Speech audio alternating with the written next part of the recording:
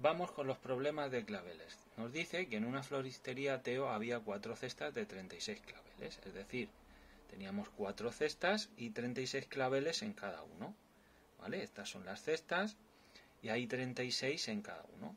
Por lo tanto, si yo quiero saber cuántos tiene en total, si sé lo que hay en uno y quiero saber lo que hay en varias, ya sabéis que siempre es una multiplicación. Esto es 24, me llevo 2, 12, 144. Y ahora nos dice que va a tirar 13. Si va a tirar 13, nosotros tenemos que intuir que al tirar vamos a tener menos. Por lo tanto, la operación que debemos hacer es una resta. Y aquí podemos hacer, francamente, cálculo mental.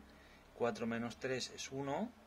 4 menos 1 es 3, no nos llevamos nada. Y los claveles que le van a quedar a Teo son 131. Ya sabéis, si nos dicen lo que hay en uno y queremos saber lo que hay en varias, debemos multiplicar. Ahora bien, otra manera de hacerlo en nivel ya avanzado, como son operaciones combinadas, lo podemos expresar de esta manera. Haríamos primero 36 por 4 menos 13. Podéis, si queréis, añadir el paréntesis o no. ¿Por qué? Porque ya sabéis que en la jerarquía las multiplicaciones se hacen antes que las sumas y las restas. Bueno, las multiplicaciones y divisiones. Por lo tanto, lo podemos dejar sin paréntesis, que no pasaría exactamente nada. Hacemos la multiplicación de aquí, que ya sabéis que da 144, le restamos el 13 y llegamos al 131, que son los claveles que le quedan a, a Teo.